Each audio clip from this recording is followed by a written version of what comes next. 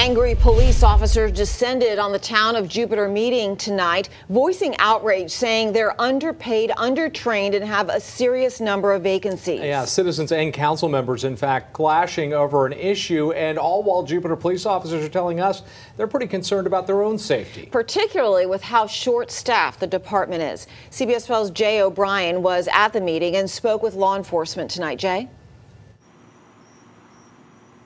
Yeah, Liz, Jim, police officers tell us the issues that were brought up tonight had been brewing for months. They say they are concerned for their own safety and for the public's safety because the, the current finances of the department are being strangled, they say, by the town government.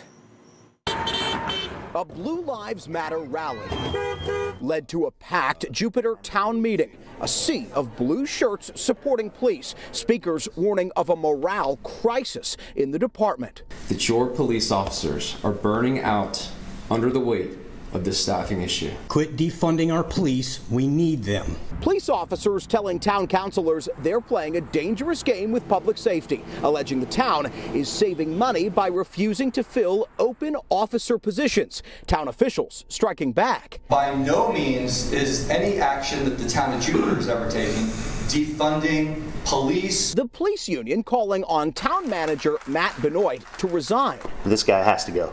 One officer who asked not to be identified told us this agency is seriously short staffed, particularly when it comes to detectives and road patrol officers. At least eight positions still have to be filled.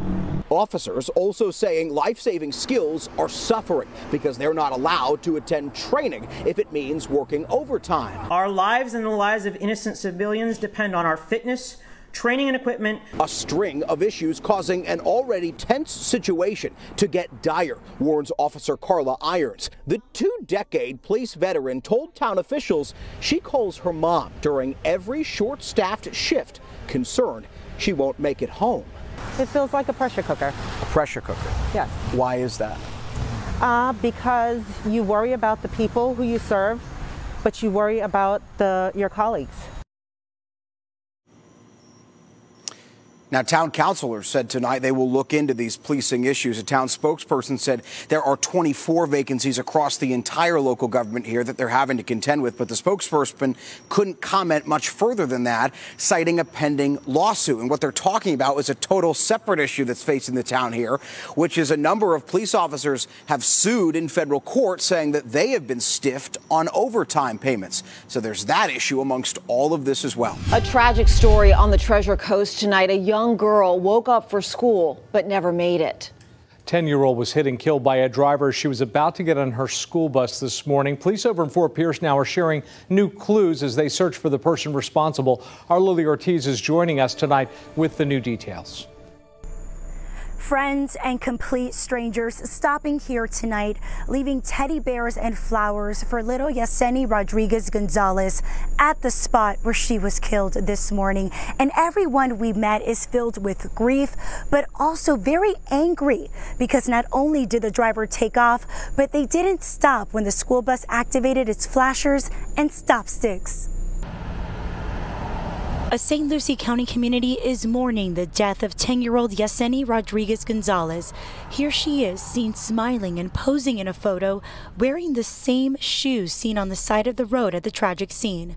Yaceny was crossing Oleander Avenue around 6 Thursday morning to get on a school bus, which had its stop sticks and flashing lights on, when a driver heading northbound hit her and kept going. It was really sad. Seven year old Connery Bolito rides the same bus. His father says he would have seen everything, but he just happened to miss school today. I see her every morning. I see that she looks like a very happy young girl, and that's not something you ever want your uh, child to witness, and it's definitely not something you want to uh, happen to your kid. Fort Pierce police sharing critical new clues tonight. Black and white images from nearby surveillance cameras of the car, a white four door sedan seen before and after the crash.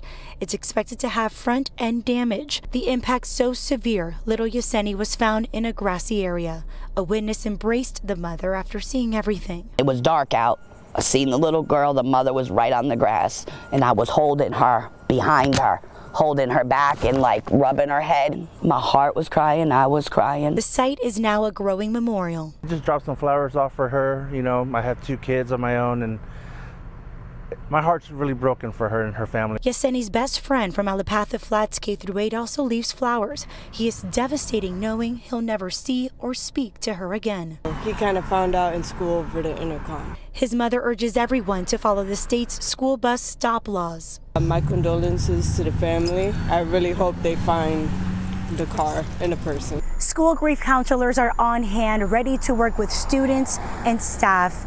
And St. Lucie County Superintendent is also working with investigators to see what needs to change to make sure this doesn't happen again. All five school districts in our viewing area are will allow asymptomatic students back to class, regardless if they have had a close contact or are vaccinated. It's following new emergency rules signed by Florida's Surgeon General just yesterday, his first full day on the job. CBS 12's Andrew Lofholm is live at Palm Beach County School District headquarters with perspective from one of the two board members who voted against the state.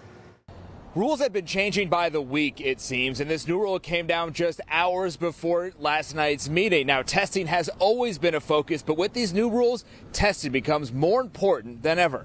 This poor little seven year old girl has not been in school for two weeks. Following another raucous school board meeting, the Palm Beach County School Board opted to follow the state in this case. Students who have had a close contact with someone COVID positive can stay in class as long as they're not sick.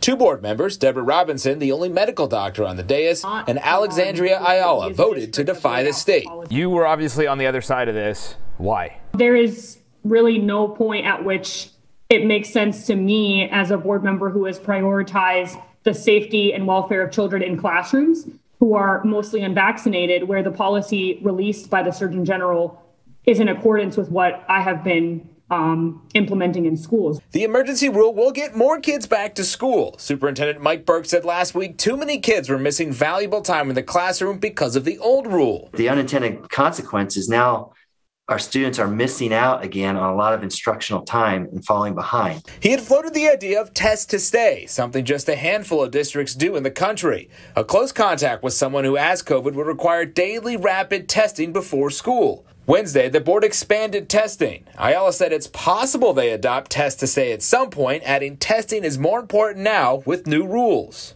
we are trying to ramp up testing to keep schools and classrooms safe because without knowing everybody's status with this virus, it is really risky and dangerous and frankly unacceptable to put children around one another without knowing if they're spreading the virus.